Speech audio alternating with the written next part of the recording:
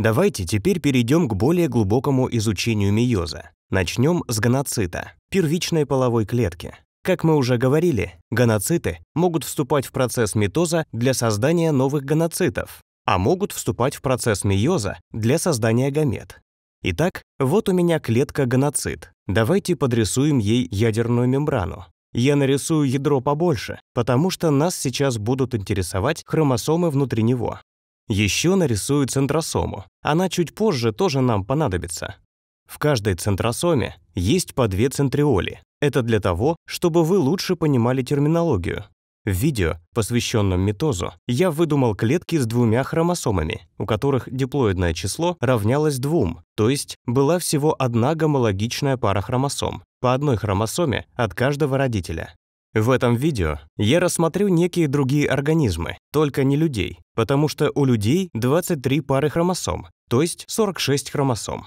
Я рассмотрю гипотетических существ с диплоидным числом 4, Две хромосомы достались этому организму от отца. Я нарисую их оранжевым цветом. Я изображу их в состоянии хроматина, размотанными в хаотичный клубок. Допустим, эта длинная хромосома досталась клетке от отца. И вот эта короткая хромосома тоже от отца. Также у этих хромосом есть гомологичные им хромосомы, доставшиеся от матери. Одна длинная хромосома досталась от матери, и одна короткая тоже от матери. Я, конечно, очень сильно упростил реальную картину, но нам сейчас важно понять суть. Итак, в этой клетке содержится диплоидное число хромосом. Давайте подпишем. Диплоидное число равняется четырем хромосомам. И заодно подпишу, что это у нас клетка-гоноцит. Эта клетка после рождения сразу входит в интерфазу. Она начинает расти, затем дублировать свою ДНК и центросому. Давайте я нарисую, как будет выглядеть клетка после интерфазы. Вот это у нас ядро клетки. И в результате интерфазы ДНК в ядре реплицируется. В этой длинной хромосоме, полученной от отца, все молекулы ДНК будут удвоены. Получится примерно вот такая картина. Две одинаковые половины хромосомы соединяются в центромере. У нас в этом процессе участвует очень много слов с корнем «центр». Я стараюсь рисовать эту хромосому в состоянии хроматина. На самом деле она развернута, а не сгруппирована. Все эти иксы в этот момент в обычный микроскоп не видны. Итак, хромосома удвоилась, и после удвоения в ней стало вдвое больше генетического материала, но это по-прежнему считается одной хромосомой. Эта хромосома состоит из двух сестринских хроматид, я подробно об этом рассказывал в видеоролике, посвященном метозу, но ничего страшного, если напомню еще раз, чтобы вы не путались. Вторая, более короткая хромосома, доставшаяся от отца, тоже удвоилась и превратилась в две сестринские хроматиды, соединенные центромерой. Таким образом, это по-прежнему две хромосомы, доставшиеся этой клетке от отца. В них удвоилось количество ДНК, но они содержат одну и ту же генетическую информацию, можно сказать, теперь в клетке по две копии всей генетической информации. И то же самое происходит с хромосомами со стороны матери. Вот эта длинная хромосома, гомологичная первой, тоже реплицируется.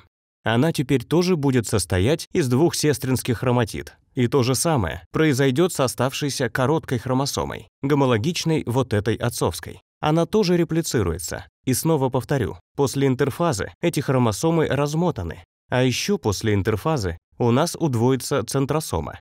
И вот теперь клетка готова приступить либо к митозу, либо к мейозу. Но поскольку этот видеоролик посвящен мейозу, представим, что дальше начался мейоз.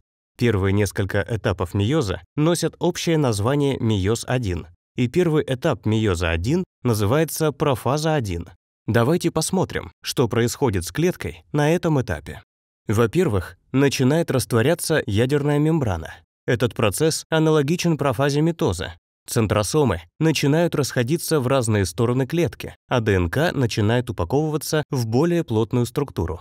И вот теперь хромосомы можно изобразить так, как их принято рисовать. Это хромосома от отца, а это от матери. Я специально рисую их так, чтобы они накладывались друг на друга, потому что сейчас произойдет кое-что интересное. Я отмечу у них центромеры. Вот здесь у нас короткая отцовская хромосома. Я до этого рисовал ее слева, но это не обязательно так. Это короткая хромосома от матери. И опять же, здесь у нас пара гомологичных хромосом, и вот здесь тоже пара гомологичных хромосом. ДНК реплицировалась, и каждая хромосома в гомологичной паре состоит из двух сестринских хроматид. А значит, во всей гомологичной паре четыре хроматиды. Такой набор из четырех хроматид называется тетрада. Зачем я нарисовал эти хромосомы пересекающимися? Давайте подпишем. Это у нас профаза 1. Так вот, в профазе 1 происходит перераспределение генетической информации, так называемая гомологичная рекомбинация. Это у нас гомологичная пара. Одна хромосома в ней досталась этому организму от отца, вторая — от матери. Слово «гомологичное» означает, что в них могут содержаться разные пары оснований, разные ДНК, но они кодируют одни и те же гены. Упрощенно говоря, один и тот же отрезок каждой из этих хромосом кодирует, например, цвет глаз или характер или рост. В ДНК все, конечно, устроено не так просто, но суть вы, надеюсь, поняли и я нарисовал хромосомы скрещенными, чтобы показать, как именно происходит рекомбинация. Давайте я перерисую их покрупнее. Вот это хромосома от отца. Она уже находится в упакованном виде.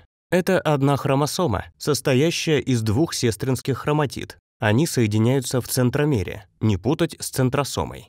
Центромера — это точка соединения сестринских хроматид. Рядом я изображу гомологичную хромосому от матери. Вот так она примерно выглядит. И рекомбинация произойдет вот в этой точке. После этого левая хромосома будет выглядеть вот так. По сути, они обмениваются вот этими небольшими участками. У этой хромосомы теперь будет небольшой материнский фрагмент.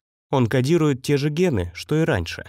Только теперь здесь генетическая информация от матери. А вторая хромосома получит, соответственно, гомологичный фрагмент отцовской хромосомы нарисую еще две центромеры. И это интересный момент, поскольку рекомбинация происходит не всегда, и далеко не все комбинации будут идеальными. Могут получиться какие-то неоптимальные варианты, в результате чего может появиться вовсе не функционирующий организм. Но рекомбинация – достаточно частое явление при мейозе. Благодаря ей появляется вариативность особей. Мы с вами уже обсуждали половое размножение. Оно вносит в популяцию разнообразие. Разумеется, вариативность обуславливается тем, что разные сперматозоиды сливаются с разными яйцеклетками. Но даже в гомологичной паре хромосомы могут обмениваться информацией. И это очень интересный момент, потому что, как я уже говорил, каждая хромосома кодирует несколько разных генов. Ген кодирует некий определенный белок или набор белков. И опять же, все, что я сейчас скажу, это будет очень сильное упрощение реальной ситуации, но представьте, что вот этот участок отвечал за цвет глаз или за какой-то белок, участвующий в формировании цвета глаз. И этот ген, отвечающий за цвет глаз, достался вам от отца.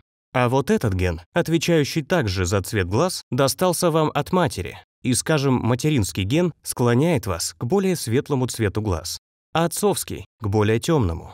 И теперь материнский ген попал в отцовскую хромосому, и наоборот. Это один и тот же ген, просто разные его аллели. То есть здесь закодированы разные варианты одного и того же гена. Отцовская аллель теперь находится в материнской хромосоме. Многие путаются в генах и хромосомах. Что есть что? Каждая из этих хромосом содержит некий набор генов. Это длинная-длинная молекула ДНК. В ней закодировано множество генов. Таким образом, ген — это короткий участок ДНК, отвечающий за конкретный белок. Итак, это все происходит в профазе 1. В профазе 1 происходит уплотнение гомологичных пар хромосом. Там же может возникнуть рекомбинация. И что самое интересное, рекомбинация не случается в произвольных местах, разрывающих генетическую информацию. Она происходит только в конкретных определенных точках. И эти точки называются хиазмы. Звучит как название фильма ужасов. Итак, вот эта точка у нас — хиазма, и сам факт рекомбинации — это одно из проявлений красоты науки биологии. Благодаря этому миллиарды лет эволюции привели к появлению механизмов, обеспечивающих разнообразие, причем механизм этот налажен достаточно четко. На этом пока закончим наше видео. Я успел рассказать только о профазе 1, но это достаточно серьезный этап, на котором происходит очень важный процесс гомологичной рекомбинации или хромосомного кроссинговера. И в следующих видео мы продолжим рассматривать мейоз 1 и перейдем к стадии мейоза 2. Спасибо, что подписываетесь на наш канал. Нам очень важно знать ваше мнение. Если у вас возникли вопросы касательно данного видеоролика, то не стесняйтесь задавать их в комментариях. Мы с удовольствием на них ответим.